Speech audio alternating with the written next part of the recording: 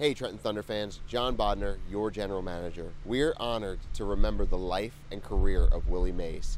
Join us at the ballpark on Saturday, July 20th as we celebrate Willie's career and the impact that he had on the Trenton community by retiring his number 12 Trenton Giants jersey. Willie Mays will now be recognized here at the ballpark along other Trenton greats, including Tony Clark, Nomar Garcia Garciaparra, David Eckstein, Tony Franklin, and of course Jackie Robinson. Join us for a great day of celebration and remembrance for the great Willie Mays.